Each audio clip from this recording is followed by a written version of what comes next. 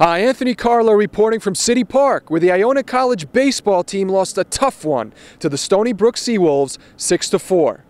The Gaels were coming off of a big series where they took two out of three from the Manhattan Jaspers, but after this loss, they dropped to 6 and 15 on the season. We hit a couple balls hard.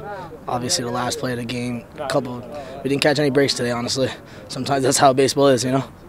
The Gaels out hit the Seawolves 15 to 10, but it was the inability to execute with runners in scoring position that proved to be the difference.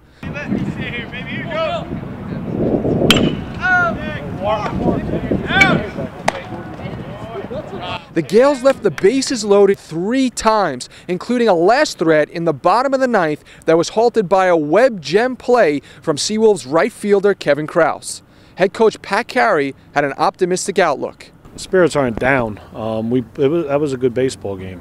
Um, we they just came out on top, and uh, you know we just get back right at it tomorrow. There's nothing, no pep talks, nothing like that. We just got to keep doing what we're doing and keep playing like that. You'll win some more games.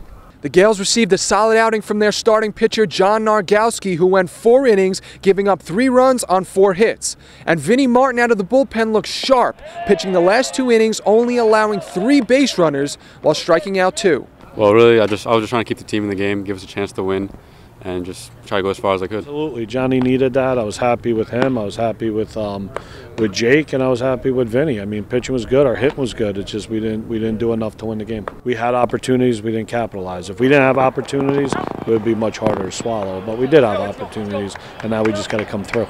The Gaels will look for leadership from some of their veterans as they try to rebound from the loss. Baseball's a long season and we got a lot of games to play.